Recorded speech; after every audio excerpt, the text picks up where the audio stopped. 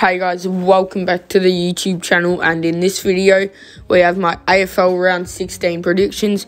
We got four, a 6 out of 9 last round but it was a pretty tricky week in tipping so we'll definitely take that. And this week's margin comp game as always is the last game of the round, the Bulldogs taking on North Melbourne, 440 Marvel Stadium on Sunday so make sure you uh, put who you think will win and by how much in the comments below for your chance to win a shout out. And last week's winner was Donny Diesel. He tipped Carlton by 11 over Adelaide. So well done on winning. You've won this week's shout out. Now let's get into the tip. Please enjoy.